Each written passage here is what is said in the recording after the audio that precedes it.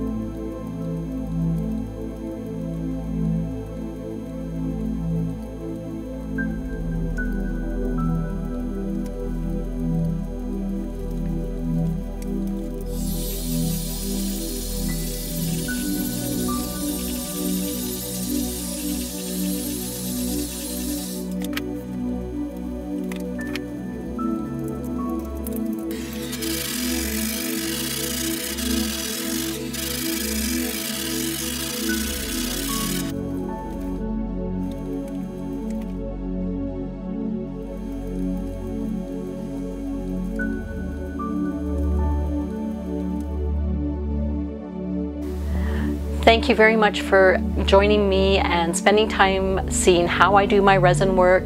If you want to learn more about how to do this or see some of the things that I've created, you can go to my Facebook page, Rustic and Shine Resin Designs. Thank you so much.